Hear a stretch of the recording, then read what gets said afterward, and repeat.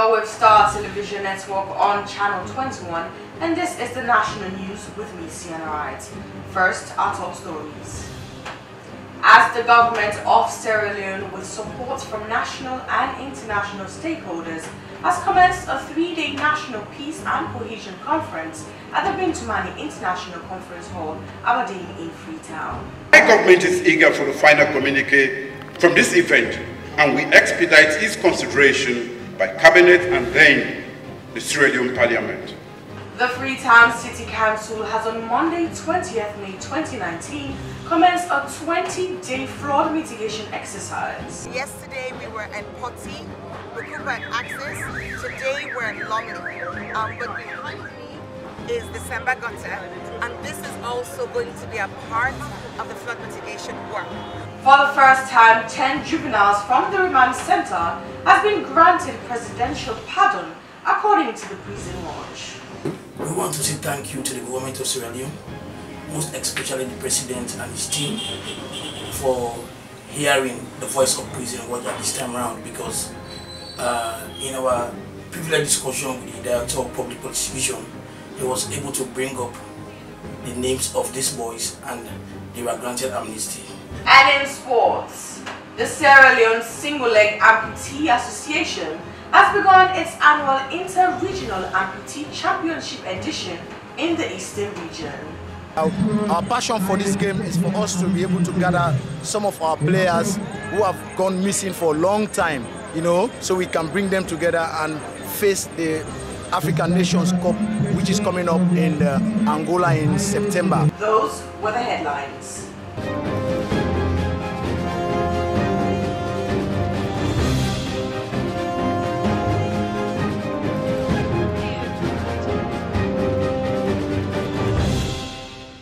It's now time for the news in detail with me, Sienna Wright.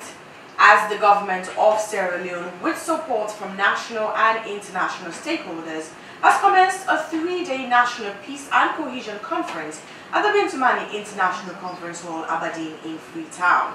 President Julius Maada Bio promised to build a peace commission that will take on board all facets of society. Leonora Jawara has more.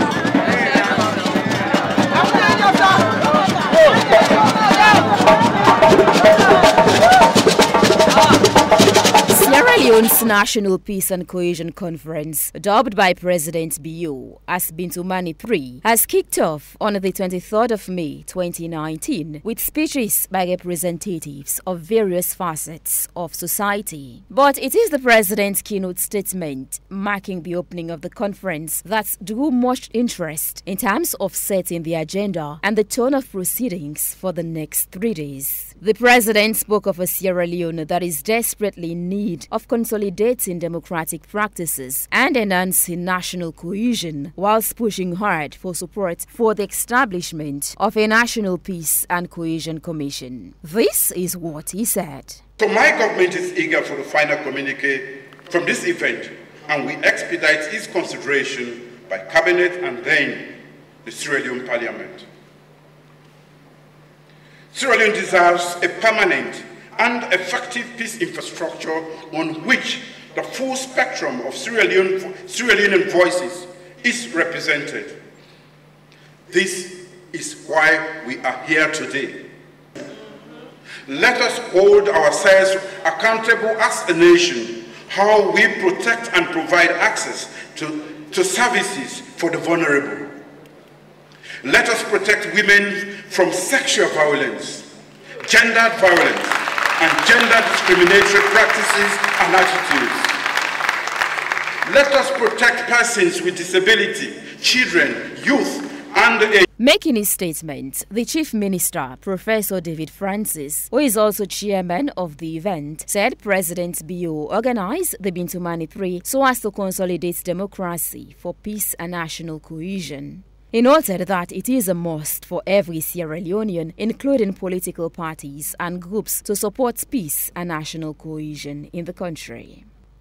The main opposition, All People's Congress Party, kept to their words of boycotting the Bintumani 3 conference. But a strong member of the party, Honorable Alpha Kanu, joined other stakeholders in the conference. In an exclusive interview, he told Star Television his reasons for attending the conference despite his party's boycotts.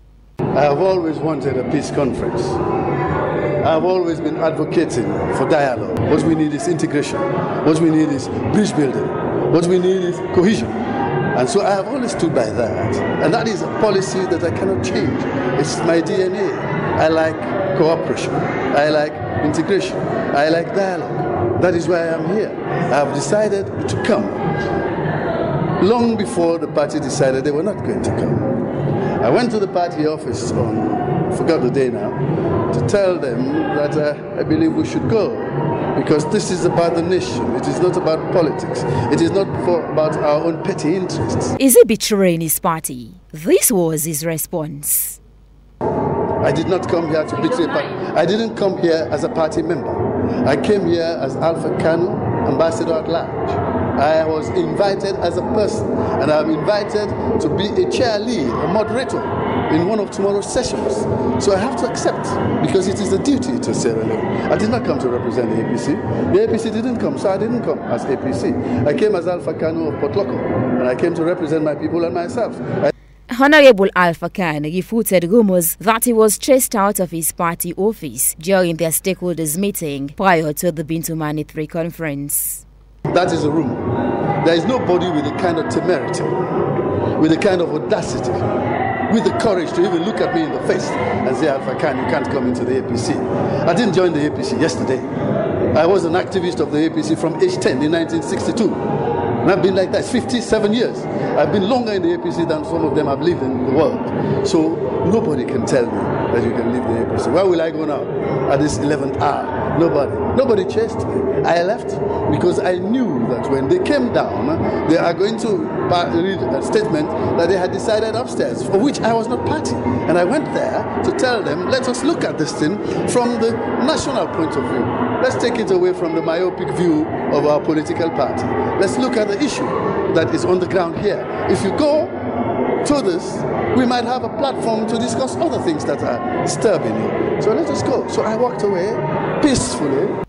The National Grand Coalition Party, NGC, who earlier said they would not attend, also revisited their position and decided to attend the conference. The parliamentary leader of the party, the Honorable Kandeh Kolleh Yumkella, tells Star Television why they came about that decision.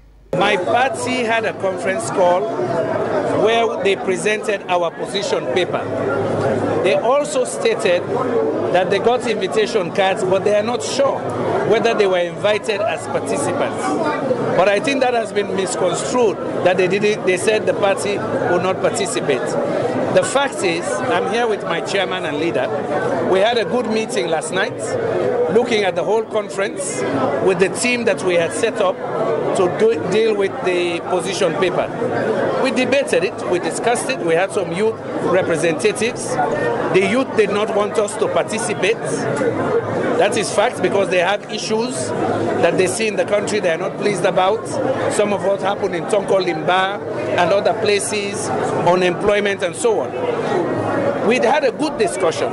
We believe that as part of constructive engagement, we should be here. We should not only be here, we should present a formal paper. Leonora Jawara, Star Television, Freetown. The Freetown City Council has on Monday, 28th May 2019, commenced a 20-day flood mitigation exercise. The exercise is aimed at mitigating flood disaster often experienced in the city. Moses Oju Kamara has more. The mayor of the Freetown municipality, Yvonne Aki-Sawyerr, has said that the council, together with the Republic of Sierra Leone Armed Forces, RSLAF, and other stakeholders, will be engaged in clearing the drainages and gutters, which is aimed at minimizing the flood risk within the municipality. She went on to state that, despite the cleaning exercise taking place every first Saturday in the month, some areas of the city were completely unmitigated prior to the intervention of the council. Yesterday we were in Poti, Bukupa and Axis. Today we're in Lumley, um, but behind me is the Semba Gutter, and this is also going to be a part of the flood mitigation work, where we are consistently going through clearing gutters, culverts, waterways to minimize the risk of flooding. And I want to say a big thank you to the RSLAF, the Army who are working with us, um, SLRA who are supporting, and to RMFA and to the Irish government who provided funding for the exercise this year. We did it last year, it was really effective, and we're really glad to have the support of central government and development partners as we do it again this year. How are you feeling the impact so far? We've only done one site. The Information, Communication and Education Officer, Freetown City Council, Koma Hassan Kamara, noted that the exercise is expected to last for the period of 20 days and will be targeting flood risk areas across the city. It was successful last year, and out of the projects last year, we have lessons learned.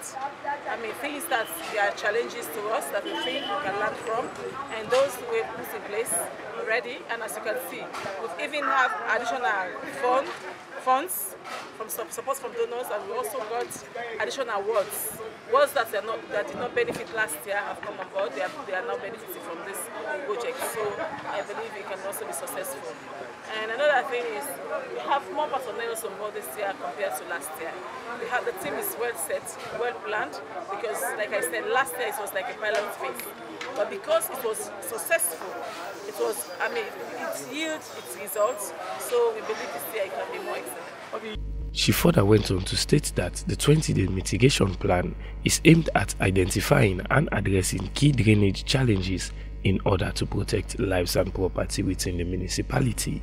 Kuma Kamara intimated further that the council bylaws are still in place and thus will be robust in enforcing them as they are engaged in the door-to-door -door sensitization. The councillor of Ward 413, Hannah Mary Jaya, commended the council and promised to effectively cooperate with the council to make sure that a cleaner zone competition becomes a routine exercise. It was disturbing. I am so happy, so pleased today to see the action going on, to see cleaning taking place here. As well, health is well, so we are really prepared to. Me and my other team members will stand on the ground to see that whosoever that is not will face the full penalty of the law. Because the council states in its bylaw that whosoever that is not is liable to pay a fine of 500,000 and we are prepared to see that it takes place. For Star News here in Freetown, I am Moses Oju Kamara reporting. For the first time, 10 juveniles from the remand center has been granted presidential pardon according to the Prison Watch. Sadomba Maturi reports. Ten children in conflict with the law have been granted presidential pardon. The ten juveniles were granted presidential pardon following numerous appeals made to the government by Prison Watch Sierra Leone, one of the vibrant civil society organizations in the country. Speaking at a press conference organized at the headquarters of Prison Watch Sierra Leone in Freetown, John Lansana Coca appreciates the humanitarian gesture extended to the 10 children that were in conflict with the law and on behalf of his organization express gratitude to President Julius Maada Bio, Office of the Attorney General and Minister of Justice, the Office of Director of Public Prosecution for positively responding to their humanitarian appeal. We want to say thank you to the government of Sierra Leone, most especially the president and his team, for hearing the voice of President at this time around because uh, in our privileged discussion with the Director of Public Prosecution, he was able to bring up the names of these boys and they were granted amnesty. For the, for the office of the DPP, we want to say thank you and the office of the Attorney General Minister of Justice because they had been the pillar behind this and they have succeeded to grant our boys presidential pardon, which have never happened in this country. Well, for the past government, we have been calling on them, we have been crying over this issue, but nothing, no action has been taken. But for this year, with, with the intervention of the uh, DPP, the, the new DPP, he has been able to forward the case of these guys and they have been granted pardon.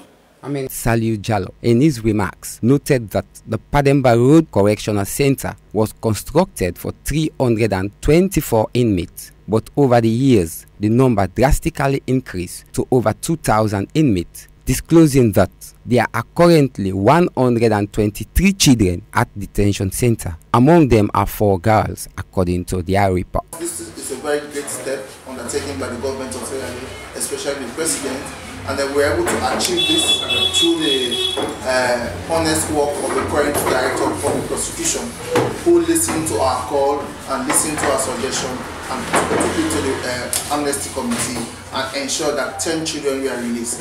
For us, we think this is something we must say thank you to him and we'll continue to encourage him to continue to working for humanity. Sierra Leone is uh, one organization that works with persons in conflict with law, which includes uh, those in police cells, those in correctional centers, juvenile homes, and in some, to some extent, uh, local court detention facilities across the country. We basically monitor, we investigate, we document, and report incidents of human rights violation to uh, authorities according to the government of Sierra Leone is that uh, we are happy that uh, for the first time children have been released through the humble efforts of uh, the Director of Public Prosecution, uh, Barrister uh, uh, Easmon Ngakui. We want to say thank you to government also for honoring that one I want to continue to say that there are a lot of people who continue to be held behind bars especially those for minor offences. We think that uh, much more steps must be taken to expedite their matters. When Pademba Road alone was constructed for 324 inmates, as I speak to it's over 2,000 inmates at Pademba Road. You look at those juvenile homes, as at yesterday, there are 123 children in the juvenile homes, out of which four of them were girls. So uh, I can't give you specifically, but you go right around the country in every detention facility, there is overcrowding. Bo was constructed for 80. It has over 250 inmates as I speak to you. Same as Kenema, constructed for 75. It has about 250. So the numbers keep growing. They are not coming down at all. So we want to encourage, we want to appeal to government to look into those matters of persons who continue to be held behind bars for a long time so that their, their matters can be expedited and justice will be reach out to them. What? The Bo Correctional Center was constructed for 40 inmates but now have about 250 inmates. Kenema Correctional Center was constructed for 75 inmates, but the number have increased to 200 inmates. Mr. Jallo called on the government for speedy trials as justice delay is justice denied. For Star News, Sadomba Maturi reporting. And now to round up the news sports. The Sierra Leone Single Leg Amputee Association has begun its annual Inter-Regional Amputee Championship edition in the Eastern region. Well, let's join our sports correspondent Hilton John for what's happening in the sporting world.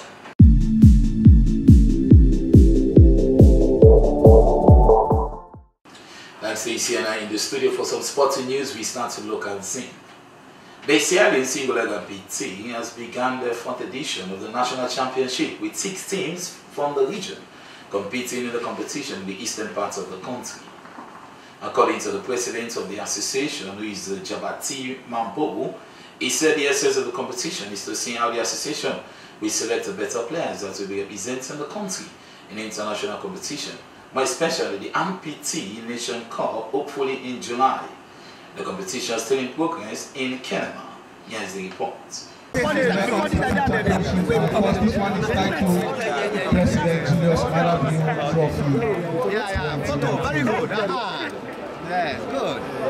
Uh, the, be the best player, the best player for yeah, yeah, that is uh. Yeah, yeah, yeah, he's the manager for. Yeah, yeah, yeah, and uh, that is uh. Yeah, yeah, and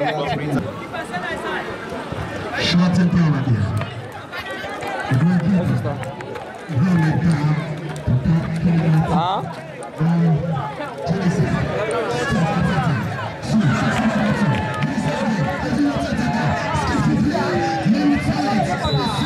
Um, I'm Jabati Mambu. I'm the president for the Single Leg Amputee Sport Association. We organized the fourth edition of the Amputee Championship 2019, of course, here in Kenema. And uh, our passion for this game is for us to be able to gather some of our players who have gone missing for a long time, you know, so we can bring them together and face the African Nations Cup, which is coming up in uh, Angola in September. So one of the actions for this league is for us to be able to, you know, capture some of the good players, put them together, then we're able to face international competition. The sponsors we got was from um, government of Sierra Leone. Of course, we wrote a lot of documents to parastatals and other people, but we didn't get much support.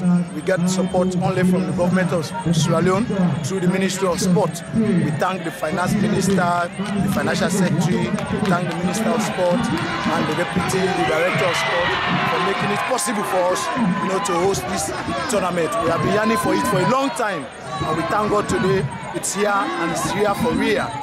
So this is this, how many editions? This is the fourth edition of the Amputee Football Championship. You know, we have used to host in different different regions. Now we have five teams partaking on this one, and we we have teams from two teams from Freetown. We have one team from Kenema. We have one team from Makeni. We have one team from Kailahun.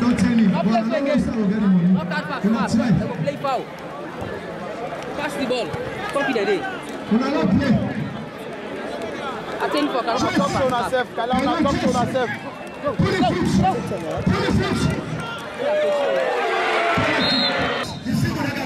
Association is about to kick off the first match here in 20.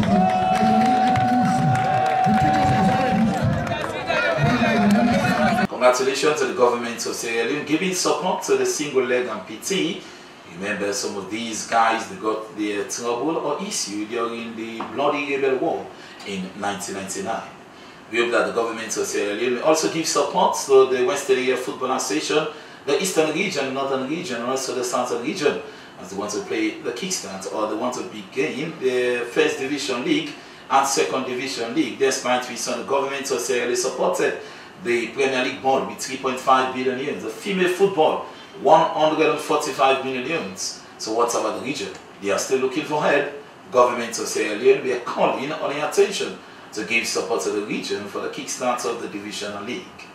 Finally, in the international scene, it's really sad news for Bulgarian referee who died whilst officiating. The 32-year-old was officiating in a football match when he passed away after he collapsed in the pitch. Here's the report. Víctor Hurtado ingresa rápidamente la asistencia del equipo de Always Ready.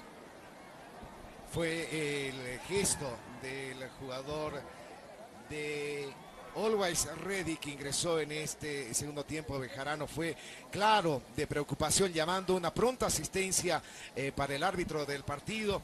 Se desplomó. Así nomás Víctor Hugo Hurtado, imagino que alguna situación extra, totalmente extra a lo que uno puede imaginar de un rendimiento de futbolistas, de autoridades del partido, los jueces, árbitros, en fin, de lo que va en este compromiso casi eh, 49 minutos, 50 minutos de partido, algo le ha tenido que afectar al señor Hurtado, por eso el desmayo. Está siendo atendido por los médicos eh, del plantel de Always Red, inclusive de Oriente Petrolero, va un tanque de oxígeno. Eh, Ramiro. Sí, los de Oriente trajeron un tanque de oxígeno para ver si es esa la situación de falta de oxígeno del árbitro del cotejo. Ahí están ingresando también eh, los de la Cruz Roja de este sector, están ingresando de la portería donde estaba el guardameta de Oriente. Y Aldo, eh, yo recuerdo pocas veces ver una imagen de esta de un árbitro que eh, se desploma, que se desmaya en el transcurso de un partido. Algo ha tenido que afectar, insisto, eh, no creo que sea producto del sol porque tampoco está haciendo una temperatura elevadísima aquí en el Estadio Municipal de Villingenio. Inclusive eh, cruza un viento eh, frío aquí en el Estadio de Villingenio, pero hay una gran preocupación porque sea prontamente atendido el señor Víctor Hurtado. Qué pena por lo que estamos observando. Lo tendrían que retirar en la camilla. Está ingresando en este momento. Esa es la instrucción. Ay, por Dios, eh, de verdad que, que, es un susto el que tenemos en este momento. Como lo decía Freddy, nunca antes por lo menos desploma y en este momento está siendo trasladado en la ambulancia a la clínica más cercana de Viringenio. Esperemos que todo salga bien, Freddy, ¿no? Hacemos votos de que así sea. Eh, Ramiro, ¿qué novedades hay en el campo de juego? En este momento hay reunión de los eh, tres árbitros que quedaron. Hablamos del señor Wilson Arellano, Alain Ledesma. Six months ago, this same incident occurred in Sierra Leone after we saw referee Victor Mara passed away. This time is Bulgarian referee. May his soul rest in perfect peace. Patricia in the studio.